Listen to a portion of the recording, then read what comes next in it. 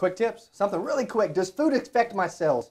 Yes, I believe, and I can personally tell when I eat certain foods over others.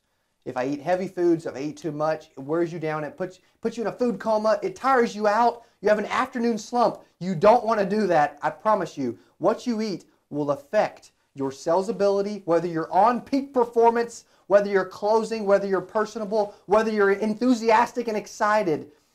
You guys can probably tell I had soup for lunch. This is why I feel good, man. I feel energetic, excited. Food will affect how much money you make, how many sales you make, and how you feel will affect your sales ability.